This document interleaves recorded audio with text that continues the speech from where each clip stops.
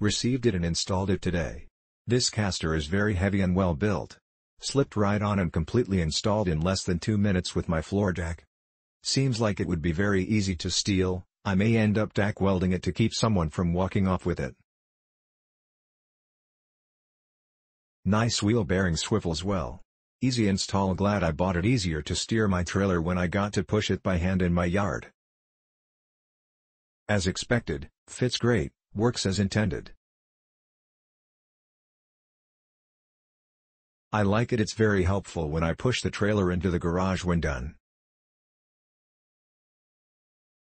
Sturdy, easy to convert to a three-wheel caster so your trailer does not sink in sand or gravel.